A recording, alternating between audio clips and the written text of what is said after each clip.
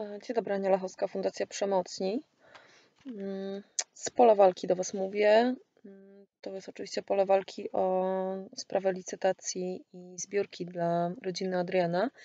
E, tylko, że obecna sytuacja w kraju sprawiła, że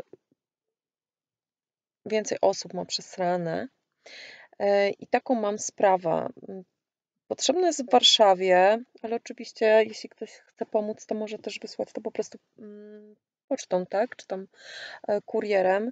E, potrzebne jest jedzenie i zaraz przeczytam resztę tego, co jest potrzebne.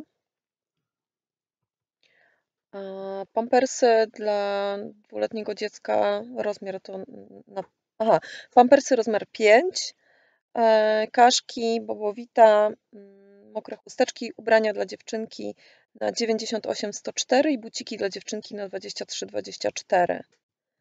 E, jeśli ktoś z Was dysponuje takimi rzeczami i chce jakoś pomóc, to bardzo proszę o kontakt e, ze mną